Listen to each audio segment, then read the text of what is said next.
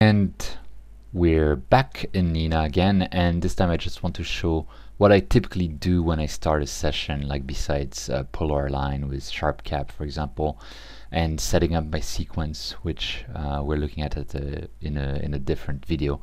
Uh, to do that, I'll typically be using the imaging uh, tab.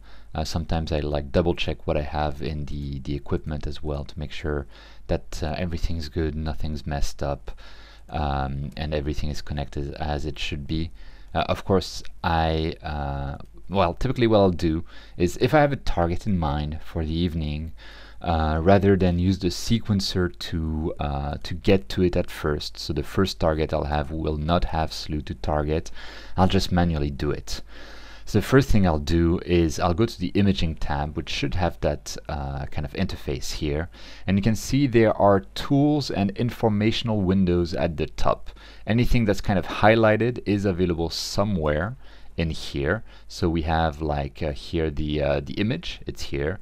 We have uh, the camera information, which is indeed here with the target uh, temperature is minus 10. You can see I could even start the warming or cooling of the camera from here. So I could say, hey, actually I want minus 5. Click here, the target temp is now minus 5, and we should see this uh, change over time. Uh, the filter wheel is also here. You can see it. I have it here and you can actually click and drag and drop but I prefer not to do it because I like the layout as it is and it's easy to get kind of confused um, so I just enable and disable what I don't need. For example rotator is something I don't need so I just disable it and you can see the tab that was there has disappeared. Telescope I have it here um, anyway. Uh, so it's uh, it's there. I have a guider tab which is here where I can look at my guide graph without having to go to uh, PHD2. Uh, of course, PHD2 works wonderfully, but on slower computers it's nice not to have to switch between uh, applications. I have uh, the weather uh, information here. Uh, this is from the the Open Weather API, and here it is. My temperature, which kind of disagrees a little bit with my focuser, but yeah, 2986 versus what is it saying? Uh, 20.06. We're in the same range. Humidity, uh, the dew point is uh, fairly high, so you know you need to be careful. And sunrise, sunset. So this is a pretty neat tool to have as well. Uh, you have uh, the sequence information, which is uh, here, the active sequence. you have a switch, which is you know, a feature that's been implemented recently in here. I haven't used it, so I'm not going to comment on it. You have statistics about the image that are available here, um, plus the histogram, uh, quite important. And you have the HR, HFR history that basically whenever your sequence is running, you'll start to see a chart with the number of stars uh, detected in each frame and the uh, HFR, uh, so measure of heart height, the stars are uh, computed as well as a chart. This will only uh, be in there if you have like the star icon set up there. Um, and then you have like the the image history uh, that can happen uh, that will appear here with the uh, HFR for each image and you'll be able to click on an image to see it here. It's all uh, quite powerful.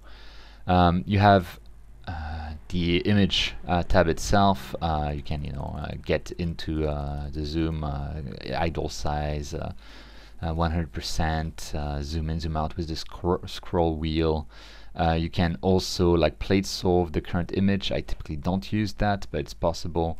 You can have a crosshair as well. Uh, something that's really neat is an aberration inspector. If you have a star field and you want to see how your corner stars are looking that's really neat to see. Uh, so I use it when I have my uh, f2 135 millimeter lens because any um, uh, how do you say that? Angle mismatch between uh, the uh, sensor uh, and the lens can cause uh, aberrations there. Uh, and then you have the auto stretch. I highly recommend turning that on. So it's basically doing what the STF in Pix, its PixInsight would do. And there's the star detection and the um, H, HFR um, analysis uh, as well in here. That's necessary to be enabled for the image history to work well. Uh, then we have a Bahtinov uh, analyzer that uh, is supposed to help with Bahtinov mask focusing. I have never used it, so I'm not going to comment on it. And you have uh, the ability to set a subsample, uh, which you can then use here by doing enable subsampling. This is not really something I've used, although uh, I've recently added a way to do to use only a center part of the image for autofocus. It's not in this uh, nightly version yet. Hopefully it will be in the next one. Um, then we have like the tools at the top right, some of the very important tools, and let me click on the image first. Uh, that we really that I really like to have is uh, plate solving. It's already there. Uh, polar alignment, I have not used it. Uh, I'm not sure how it works, so I'm not going to comment on it. But I like to have autofocus here, so I can actually run an autofocus uh, round here and uh, the manual focus targets can be really nice and that's usually what I start with so I'll go into manual focus targets and then for the current time like if there are stars it it's going to give uh, the the most br the brightest stars in the sky with the altitude as well. So you can choose skies that are nice high up or close to your target depending on what you need. And then slew to target. And the uh, the telescope will slew uh, to the best of its ability uh, to uh, to that uh, to that star. And once it's done uh, you can actually you know use this imaging tab here with a specific exposure time a specific filter specific binning and take an exposure here it's cloudy today so we're not seeing anything uh, but even if you don't see uh, Vega here, what I usually do then, and you know my, my mount can get uh, misaligned very easily, is I'll just go to plate solving after slowing.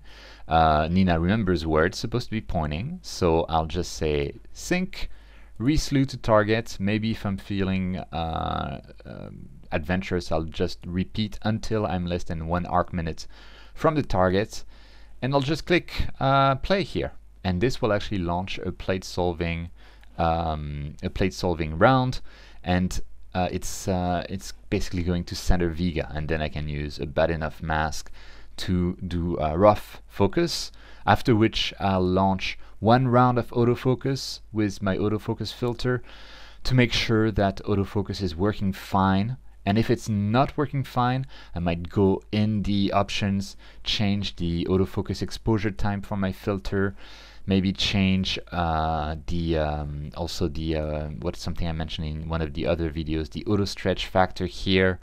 Um, maybe I'll have annotate image set to on so that it can display the stars that autofocus selected.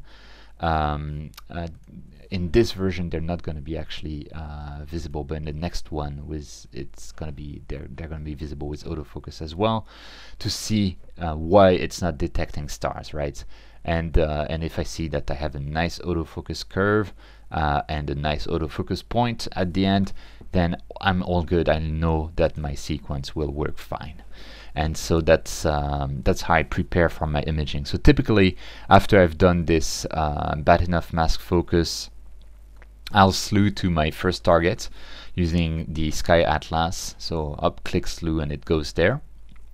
And what's it's on that first target, I'll uh, I'll just go to uh, um, uh, to imaging and I'll I'll do one round of autofocus and once it's ready I'll go to sequence uh, make sure that start guiding is on slew target and center target is off on my first target because well, I've already done it manually, and uh, in the reverse, I'll be I'll be making sure that it's on for my second, third, uh, fourth, and and fifth target as well, right? Uh, I'll make sure that my autofocus uh, parameters are correct, that my exposure kind of parameters are correct, my dither is on, etc., and then I'll click play. And uh, when you start a sequence, uh, by the way, there's a pre-sequence checklist. So, for example, if I go back to imaging and the camera or I go back to the uh, the camera and I turn the cooler off uh, because I just like you know I, I forgot to cool my camera the uh, Nina will remind me of that uh, so I can click play and you can see it tells me that camera has a cooler but it is not enabled. Do you want to start the sequence? Anyway uh, actually I added this feature um, like a month ago after I went to a dark site at least from my standards, so Bortle 4 or so, uh, much better than here, which is a super white zone. Um, and uh, forgot to turn on the cooler, and I got really, a, a, I mean, it's, it's, a bit of a waste of a very noisy kind of sequence when you could have uh, turned the cooler on. So it checks for a variety of things like you have dither enabled but your guide is not connected, your telescope is set to park at the end of the sequence but it's not connected, blah blah blah. So you, will see any uh, any sort of things that can uh, happen. Also, yeah, before the sequence, one of the things I'll make sure is that when the sequence ends, my mount will park and my camera will warm.